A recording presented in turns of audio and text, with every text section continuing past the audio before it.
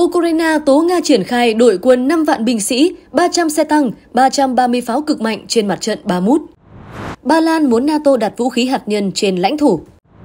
Bạo loạn ở Pháp lan sang Bỉ và lãnh thổ Pháp ở nước ngoài. Cửa hàng súng ở Marseille bị cướp. Cập nhật căng thẳng Đông Âu và những diễn biến xoay quanh chính trường thế giới. Mời quý vị cùng điểm nhanh những nội dung chính ngay sau đây. Có một nhóm quân Nga mạnh lên tới 50.000 nhân viên, hơn 300 xe tăng và 330 hệ thống pháo được triển khai ngày hôm nay theo hướng Ba Mút, nhưng không có chiến binh Wagner nào ở trong đó.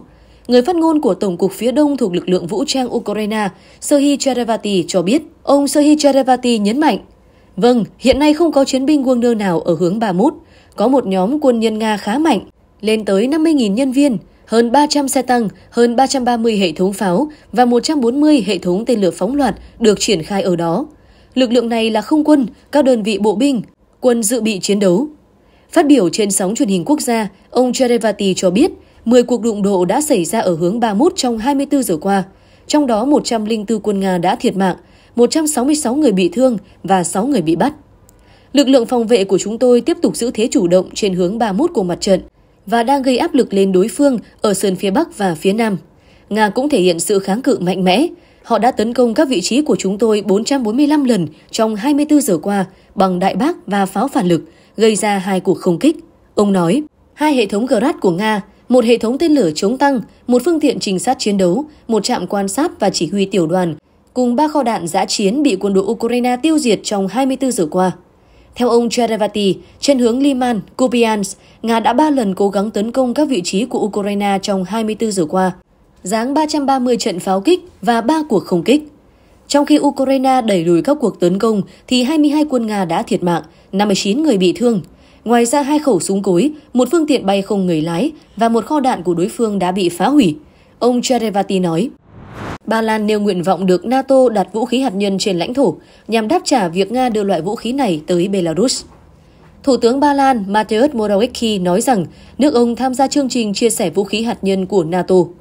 Chia sẻ vũ khí hạt nhân là một khái niệm trong chính sách răn đe của Tổ chức Hiệp ước Bắc Đại Tây Dương NATO. Chương trình này cho phép các nước thành viên không có vũ khí hạt nhân của Liên minh quân sự tham gia vào kế hoạch sử dụng vũ khí hạt nhân của NATO. Động thái của NATO được xem là nhằm đáp trả việc Nga triển khai vũ khí hạt nhân tới đồng minh Belarus trước đó. Ba Lan, quốc gia láng giềng với Nga và Belarus, trong thời gian qua đã đẩy mạnh chi tiêu quốc phòng sau khi Moscow mở chiến dịch quân sự ở Ukraine từ cuối tháng 2 năm ngoái.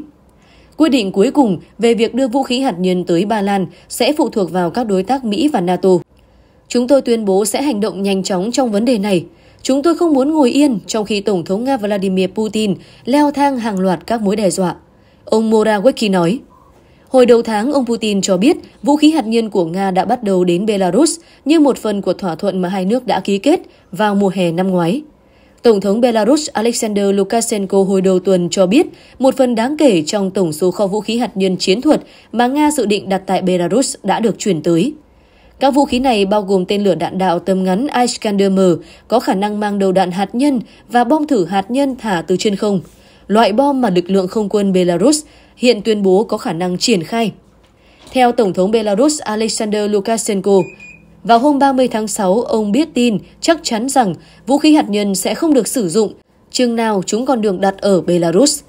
Vũ khí hạt nhân nên được đặt ở Belarus, ở một nơi an toàn, và tôi chắc chắn rằng chúng ta sẽ không bao giờ phải sử dụng chúng chừng nào chúng còn ở đây, vì không có kẻ thù nào sẽ bước lên đất nước của chúng ta.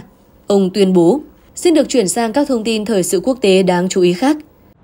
Cuộc bạo loạn ở Pháp đã lan sang Bỉ, gây ra sự hỗn loạn dẫn đến 64 vụ bắt giữ. Cảnh sát thành phố Bruxelles cho biết bạo loạn cũng bắt đầu nổ ra ở các lãnh thổ của Pháp tại nước ngoài. Một đám đông thanh niên đã tụ tập tại Bruxelles, sử dụng các nhóm gặp gỡ trên mạng xã hội để trốn tránh sự truy bắt của chính quyền và tập hợp lại tại địa điểm tiếp theo khi cảnh sát đến quá gần. Khi những người bạo loạn chọn khu phố Annessen và Gamidi gần đó là mục tiêu cho cơn thịnh nộ của họ, ga tàu điện ngầm Annessen đã đóng cửa trong đêm và các chuyến xe buýt chạy qua khu vực lân cận đã dừng lại hoặc chuyển hướng. Video được đăng lên phương tiện truyền thông xã hội cho thấy những người bạo loạn đốt cháy ô tô, các tòa nhà và vứt rác ra đường làm chướng ngại vật thô sơ.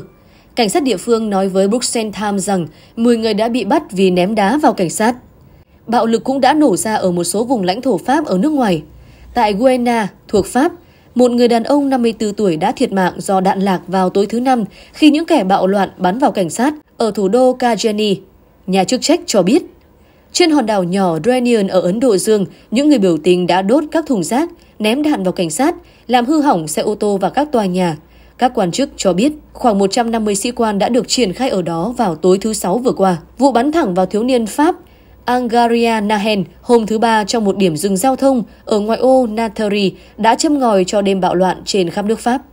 Tình trạng bất ổn được cho là bắt đầu từ các cuộc biểu tình ôn hòa trước khi biến thành bạo lực khi thanh thiếu niên được trang bị pháo hoa, bom xăng và các vũ khí ngẫu hứng khác tràn xuống đường phố. Viên sĩ quan cảnh sát bắn thanh niên 17 tuổi đã bị buộc tội giết người. Song thông báo này không làm giảm bạo lực. Nhiều vùng của Pháp đã rơi vào tình trạng phản đối trong nhiều tháng khi người dân lên án cải cách lương hưu của Macron. Các công đoàn lớn của Pháp đã thề sẽ không lùi bước cho đến khi ông Macron đầu hàng. Ở Pháp, những vụ bạo loạn tồi tệ chưa từng thấy ở thành phố Marseille, miền nam nước Pháp, đã bùng phát vào hôm 30 tháng 6, khi những kẻ bạo loạn cướp phá một cửa hàng súng gần quận Euport, truyền thông Pháp đưa tin. Trong khi đó, tại Paris đã triển khai 45.000 cảnh sát, xe bọc thép và máy bay trực thăng để dập tắt tình trạng bất ổn do vụ cảnh sát bắn chết một thanh niên da màu 17 tuổi tên là Nahen. Ở Marseille, một số vũ khí săn bắn đã bị đánh cắp từ các cửa hàng trên đường Rue Abony trước khi cảnh sát có thể can thiệp và cử người canh gác bên ngoài. Kênh truyền hình BMF đưa tin, một người đã bị bắt với một khẩu súng ngắn bị đánh cắp.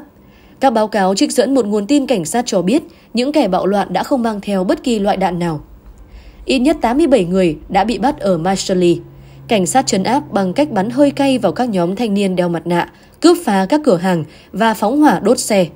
Bạo loạn đã khiến một cuộc tuần hành của những người đồng tính và chuyển giới Prime Marshall dự kiến diễn ra hôm thứ Bảy phải hoãn lại. Thị trưởng Marshall Benot Pajan đã yêu cầu chính phủ cử thêm các đơn vị cảnh sát để đối phó với bạo loạn và cướp bóc. Các video lan truyền trên mạng xã hội cho thấy các cuộc tấn công vào khu vực cảnh sát ở Alex, Lyon và Borneo. Mặc dù chính phủ vẫn chưa chính thức xác nhận bất kỳ cuộc tấn công nào trong số đó. Một cửa hàng của Apple ở Lyon đã bị cướp. Bạo loạn bắt đầu nổ ra vào tối thứ Ba ngày 27 tháng 6 ở ngoại ô Nanterre của Paris, sau khi một viên sĩ quan cảnh sát bắn chết thanh niên 17 tuổi Nahen khi đang dừng xe. Khi mẹ của Nahen kêu gọi báo thù, các công tố viên địa phương đã nhanh chóng bắt giữ và buộc tội viên cảnh sát đã nổ súng giết người. Tuy nhiên điều đó cũng không ngăn được các cuộc biểu tình ngày càng bạo lực. Tối qua, Bộ trưởng Bộ Nội vụ Gerard Damanin cho biết tổng cộng có 917 cá nhân đã bị cảnh sát giam giữ cho đến nay. Độ tuổi trung bình của họ là 17. Ông Damanin nói, một phần ba trong số họ là trẻ vị thành niên, mới 13 tuổi. Ông cho rằng sự thiếu trách nhiệm của cha mẹ đã phần nào dẫn tới tình trạng bạo lực đang diễn ra. Tổng thống Pháp Emmanuel Macron đã cắt ngắn chuyến thăm Bruxelles vào sáng thứ Sáu để tổ chức họp nội các trong khủng hoảng. Ông vẫn chưa tuyên bố tình trạng khẩn cấp trên cả nước, biện pháp mà Pháp đã áp dụng vào hồi năm 2005. Hiệp hội Cảnh sát Pháp đã yêu cầu chấn áp đám đông hoang dã, phá rối sự bình an. Họ báo với chính phủ rằng họ hiện đang chiến đấu thay mặt chính phủ, nhưng sẽ quay sang chống lại Paris nếu họ bị đâm sau lưng bởi những kẻ muốn nhân nhượng bạo lực. Thông tin vừa rồi đã khép lại bản tin thời sự quốc tế. Xin chân thành cảm ơn quý vị đã dành thời gian quan tâm theo dõi. Xin kính chào tạm biệt và hẹn gặp lại.